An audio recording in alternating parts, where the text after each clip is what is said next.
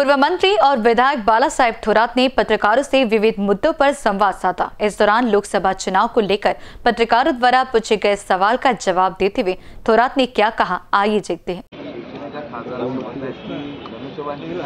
भाजपच्या चिन्हावरती लढणं त्यांना प्रभावी वाटतंय. कसं पाहता येईल तुम्ही त्या गोष्टी आणि आता पाहायचं काय काय घडतंय सगळ्या घडामोडी आता लोकसभा ही हे अधिवेशन संपलं आणि लोकसभेची निवडणूक सुरू होणं असं होणार आहे.